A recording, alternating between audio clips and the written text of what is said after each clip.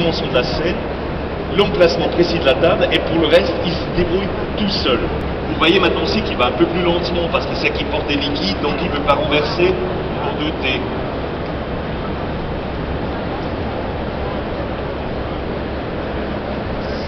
I came for delivery. Parfait. I brought you green tea.